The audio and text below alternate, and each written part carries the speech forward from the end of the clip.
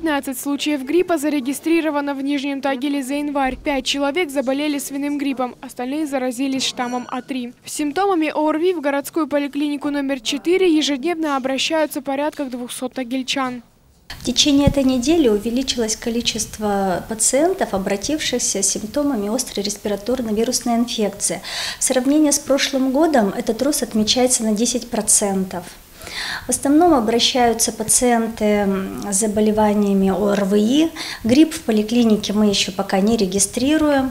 По словам Жанны Климовой, за январь отмечено 18 случаев осложнения острыми респираторными заболеваниями. Главная опасность, говорят врачи, в том, что у ОРВИ, свиного гриппа и кори одинаковые симптомы.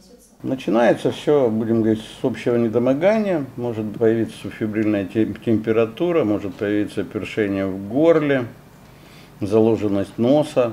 А вот. какие первые симптомы у кори?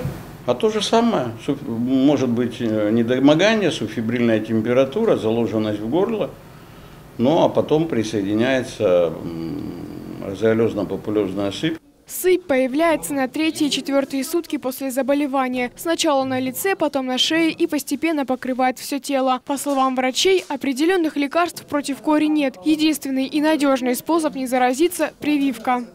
Существует вот календарь прививок, он есть, вот такая штука да, и, будем говорить, соблюдать его надо, да, и когда говорят, что надо, подошел ваш срок прививаться, надо приходить и прививаться. Многие тагильчане не только прививаются, но и поддерживают иммунитет народными средствами. Я Бруснику пью чай, потом с медом. Насморк или что, вот промываю солью. Полстакана водички и такая комнатная температуры.